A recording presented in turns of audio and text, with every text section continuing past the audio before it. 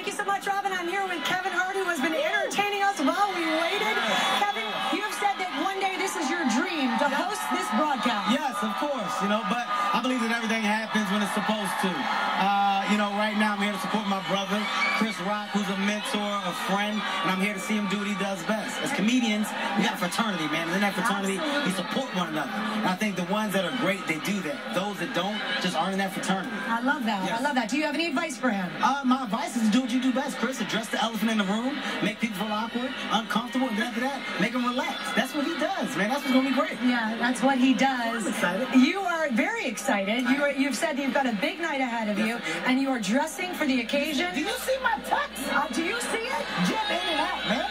Look at this. He has been he has been uh, directing our crew as well. Look at- look at- Kevin Hart, who are you wearing? Right now, this is Dolce & Gabbana from head to toe, and I'm shining. Look at You it. are shining like a diamond. Robin, as you can see, the party never ends here at the Oscars.